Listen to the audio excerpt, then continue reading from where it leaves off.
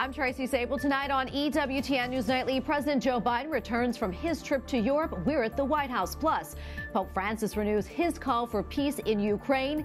We have a report from Rome on his message to political leaders and why this is a busy week for the Holy Father. Join us tonight.